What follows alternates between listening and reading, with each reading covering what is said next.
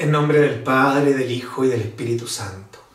La gracia de nuestro Señor Jesucristo, el amor del Padre y la comunión del Espíritu Santo esté con ustedes.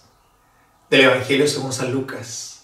Mientras todos se admiraban por las cosas que hacía, Jesús dijo a sus discípulos, escuchen bien esto que les digo.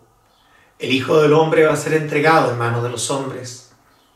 Pero ellos no entendían estas palabras su sentido les resultaba a algunos todavía oscuro, de manera que no podían comprenderlas y temían interrogar a Jesús acerca de esto.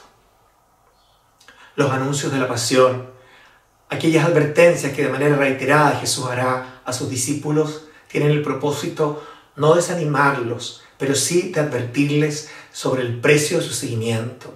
Si quieren ir tras las huellas de Jesús, también cada uno tendrá que estar dispuesto a cargar su propia cruz y seguirlo, porque el Hijo del Hombre va a ser entregado.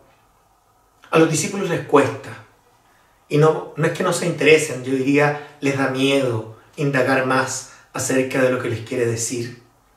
Es un tema que muchas veces los seres humanos pretendemos evitar, todo lo referente al dolor y a la cruz, especialmente cuando a causa de Cristo experimentamos tribulaciones, incomprensiones, calumnias, todo tipo de persecuciones.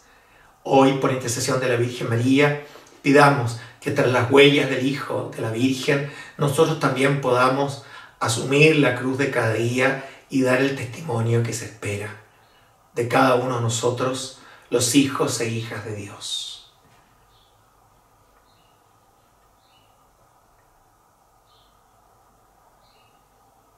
Creo, Jesús mío, que estás real y verdaderamente en el cielo y en el santísimo sacramento del altar.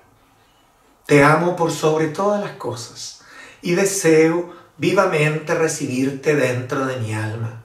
Mas, no pudiéndolo hacer ahora sacramentalmente, ven espiritualmente a mi corazón. Y como si ya te hubiese recibido, te abrazo y me uno del todo a ti. Señor, no permitas que me separe de ti. Que por la intercesión de la siempre Virgen María les anime y les colme de bendición aquel que es Padre, Hijo y Espíritu Santo.